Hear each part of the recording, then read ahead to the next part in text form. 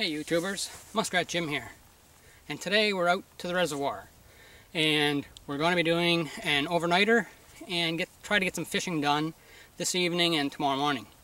Hopefully we'll be a little more lucky than we were last time. Um, I have some maps in my pack, so let me take them out and show you where we're going.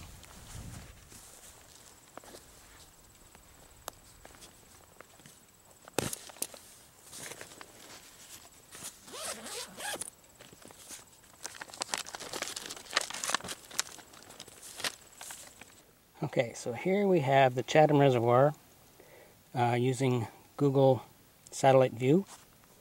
And we're coming in from this direction right here along this power line. Once we get to about this point, I'm going to go around this marshy area here and then up across the power lines again and into this section here. Now, the water is actually deeper along the edge here than it was where I fished last time, which was on the other side.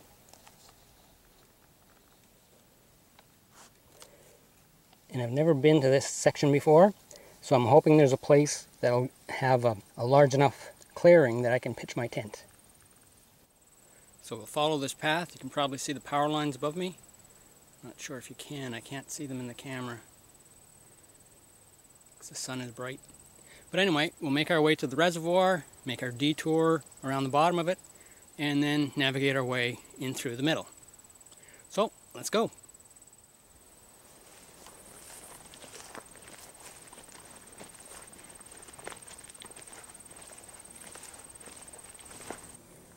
Well, I think I'm going to collect some of these blueberries to add to my breakfast tomorrow.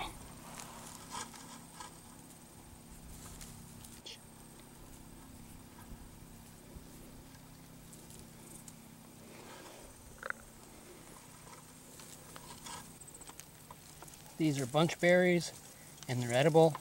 They have a tiny little seed in the middle that you can swallow. And um, the fruit doesn't really have that much of a flavor, but it's nourishing, I'm sure.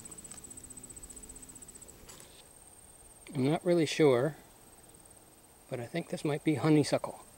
Most of the berries aren't ripe yet, but you can see some of them are turning blue.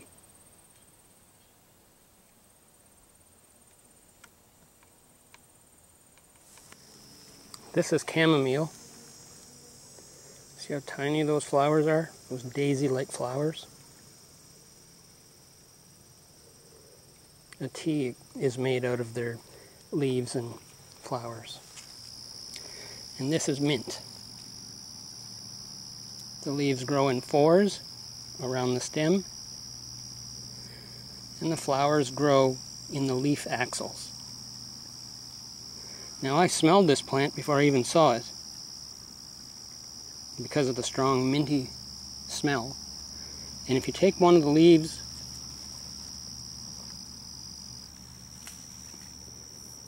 and crush it between your fingers and then you smell it, there's an unmistakable scent of mint. And you can eat those. Okay, so I have to cross this weathered old beaver dam to get to the other side.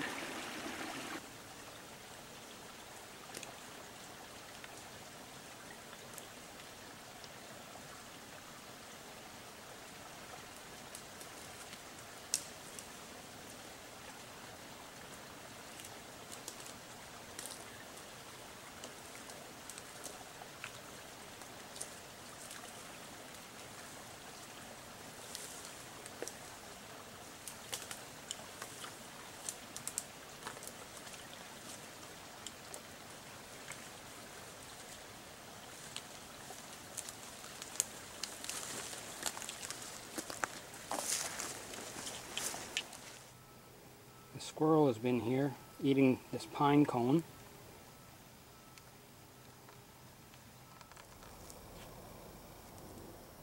This is a well-used animal run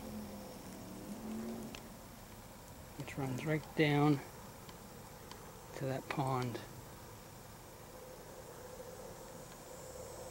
Animals will come through here regularly, probably twice a day. to drink out of that water.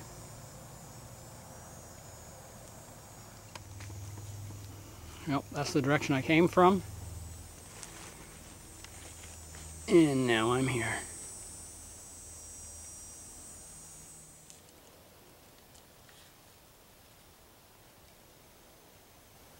I don't usually see trees this big.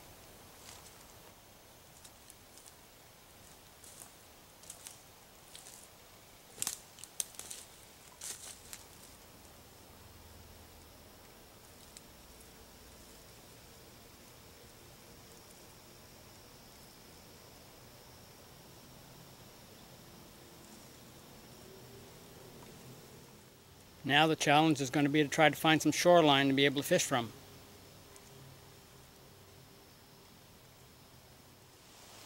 Well, it's been a fairly strenuous afternoon getting out here.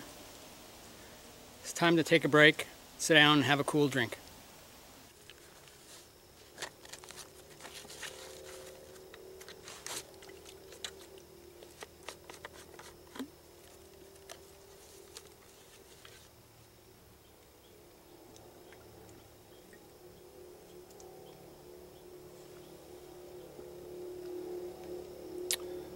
Day today.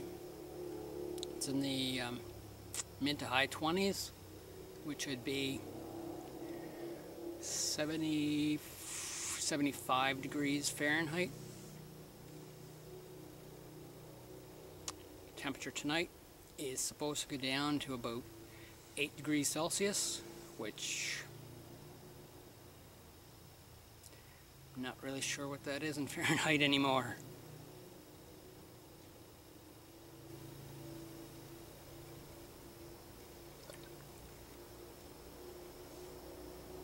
Probably somewhere in the 50s. Oh, I know. I think I have a scale on my uh, sleeping bag stuff sack. I'll just check it out.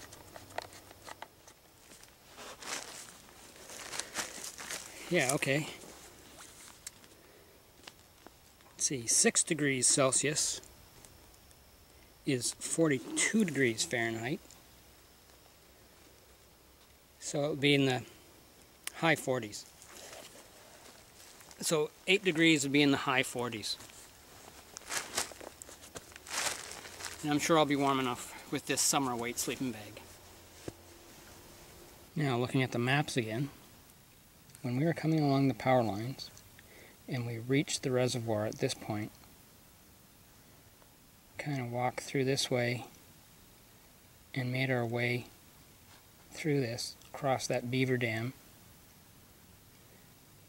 and then climbed up this hill to this point and then walked along and then cut in through this way. Like this looks like it's pretty well clear cut, but it's about six foot high now.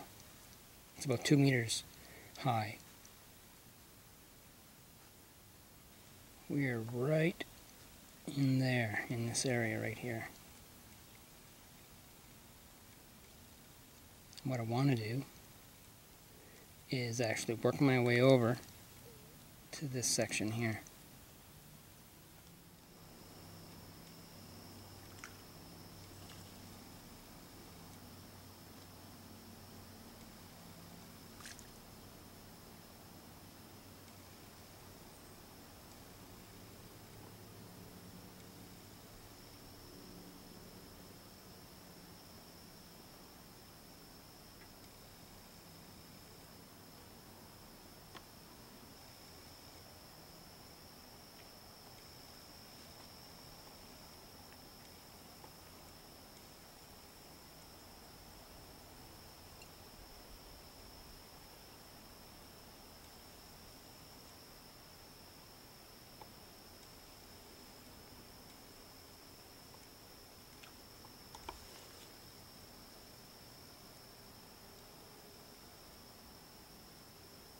Seems like something's jumping.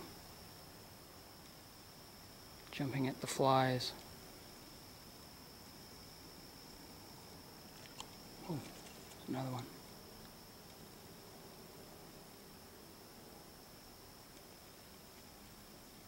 I think I'm going to throw a line in here and just see.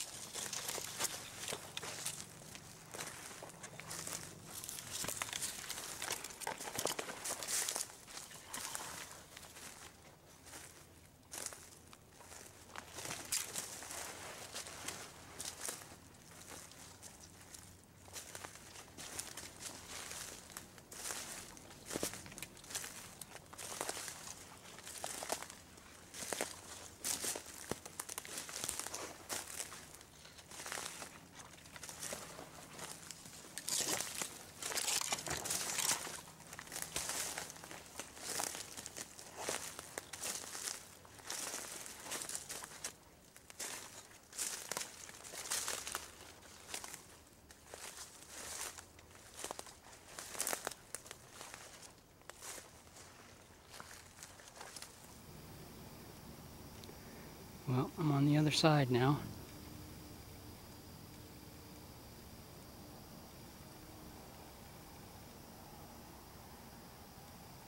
That's where I was fishing my last video.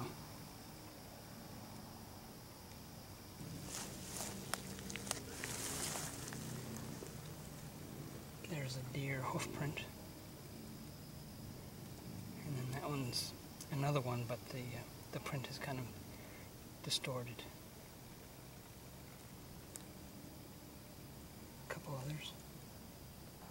Well, I'm going to find a place to set my tent and then we'll have something to eat. It's getting close to six o'clock now. Let's go find a half decent spot to put. Let's go find a half decent spot to pitch a tent.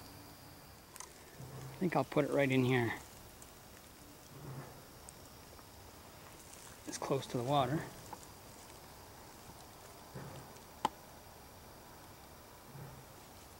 And if any deer come down for a drink, I may just get lucky.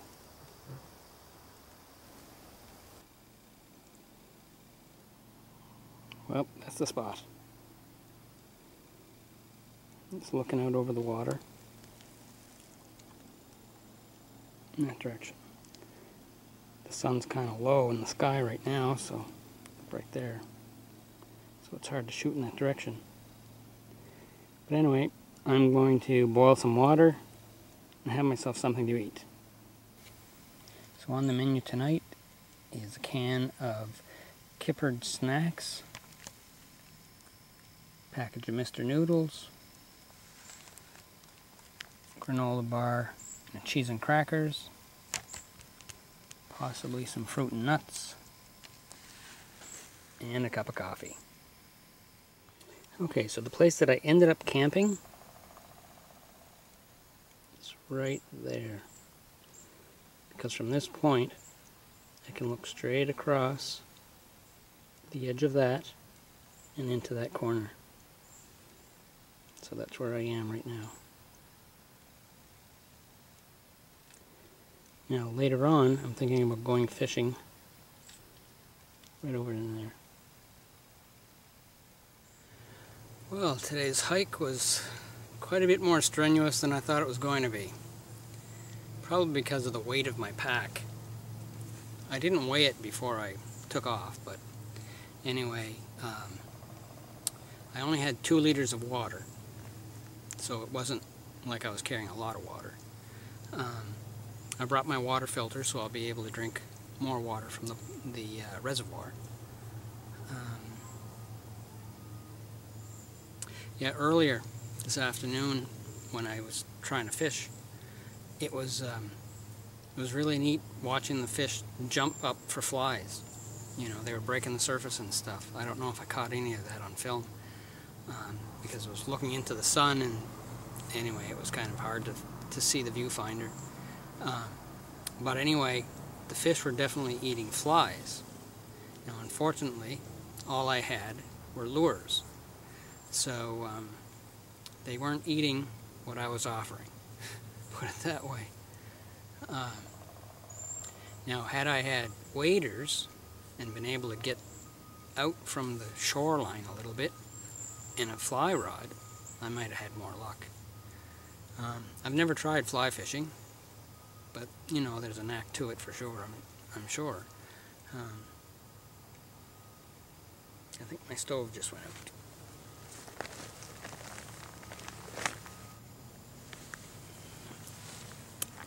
No, the, the um, heat wasn't turned up really high, so it wasn't making a whole lot of noise.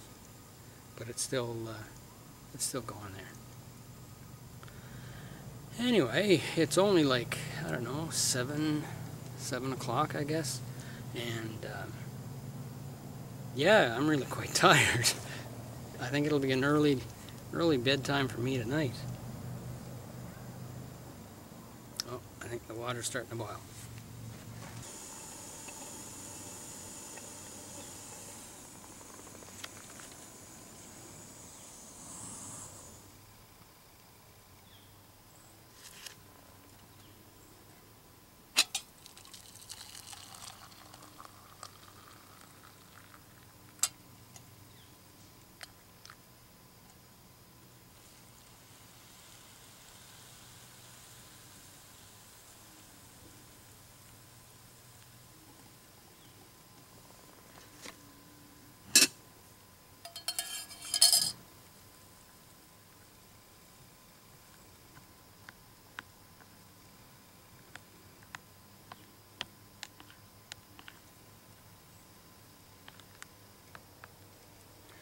I can still hear the fish jumping every once in a while. Or maybe it's just the ducks taking off or landing in the water, but anyway, it's a little bit of a splash every once in a while.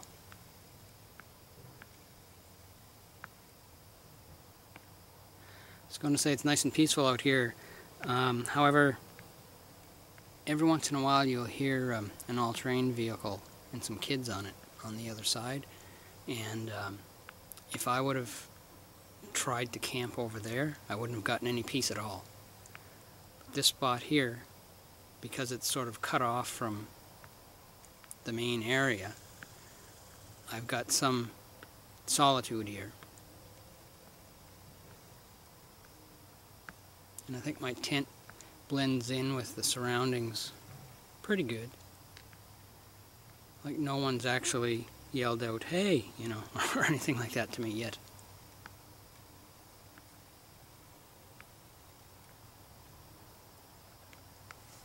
Well, I'm going to enjoy this coffee while those noodles get a little softer. It's been a long day. Mm. A little hot. I'll have to add some more cold water to that.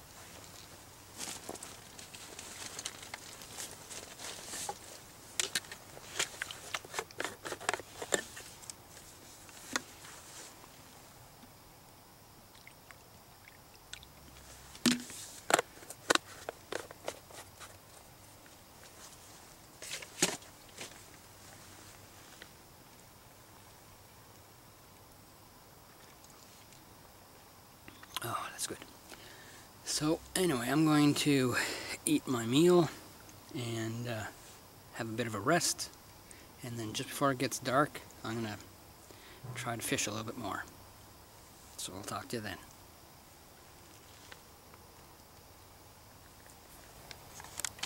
Since I only brought two liters of water with me, I'm definitely going to be needing more water for drinking and cooking. So I'm going to hook up my water filter in a gravity feed method. I brought this bottle with me because I need the screw cap, just a standard screw cap, to fit on my water filter. And I've already collected almost a quart or almost a liter of water here.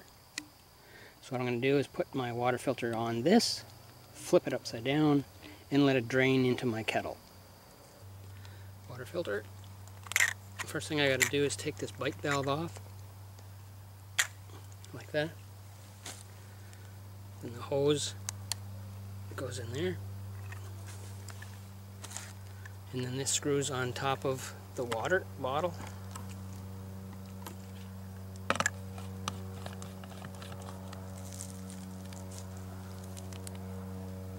Nice and snug so it won't drip. And then I have to connect this to a tree with a rope or a bungee cord so that it's inverted and gravity will um, cause the water to flow out of the filter into a receiving container. So there's the bottle attached to the tree, the filter, and the hose into the container. Now if I don't want to wait for gravity to do all the work, I can just squeeze the bottle and it'll force it out the filter. Well, I've changed into my sleeping clothes, made myself another cup of coffee, and I think I'm going to call it a night. See you guys in the morning.